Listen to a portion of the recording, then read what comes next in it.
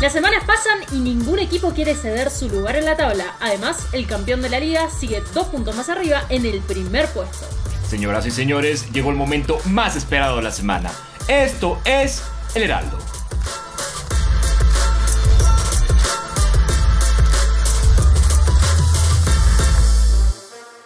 Iniciamos con R7 que intentaba empatar el liderato, aunque All Knights tenía mucho que decir. La primera sangre llegó cerca del minuto 4 gracias a una emboscada de José en el carril superior, algo que se repitió segundos después y al minuto 7. Minuto 24, R7 inicia la pelea aunque los caballeros tenían una mejor composición y el alma del dragón. Gracias a esto, All Knights aseguró asesinatos y el varón.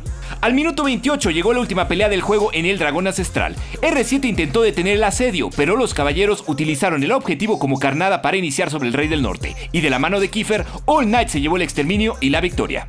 En el siguiente juego, Gillette Infinity se enfrentaba a Azules.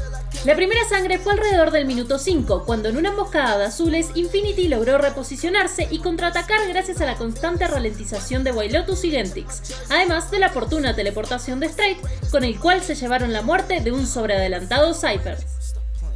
Poco antes del minuto 10, los universitarios intentaron nuevamente castigar el carril inferior, sin embargo, Lotus hizo gala de su gran nivel de habilidad, obligándolo a la jungla y carril inferior de azules a retroceder y llevarse con ayuda de Gentix y Cotopaco un asesinato triple. Todo terminaría a mitad del minuto 35, cuando un empuje de azules es aprovechado por Straight para hacer un flanqueo desde atrás. El equipo chileno aguantó hasta donde pudo, pero White volvería a ir al frente con su Ash para terminar la pelea y la partida. Gracias a este resultado, Infinity cortó con su racha de tres derrotas consecutivas. Terminamos con la partida de la semana, el clásico argentino entre Isurus y Furious. Vamos al minuto 9. Odi ejecuta una emboscada sobre Cerito, quien no consigue escapar con su gancho y cede la primera sangre. Minuto 26. Ambos conjuntos estaban igualados en oro, pero no en objetivos, y Furious toma la iniciativa con un flanqueo sobre Guara. Sin embargo, el tiburón reacciona de forma inmediata y consigue dos asesinatos que se convirtieron también en el varón. Minuto 28. La calavera intentaba un nuevo flanqueo con Cerito y Yem, aunque una vez más Isuru reacciona, consiguiendo la pelea y la partida. En cuanto al resto de la semana, el día sábado, Azules logró una victoria contundente sobre Exten en la lucha por no descender. Pixel sigue en caída libre luego de perder frente a Isurus, mientras que Furious se llevó una importantísima victoria en un cierre épico contra Infinity. El día domingo, All Knights no tuvo problemas para vencer a Pixel, mientras que Exten intentó dar pelea una vez más, pero también volvió a perder, en esta ocasión contra R7.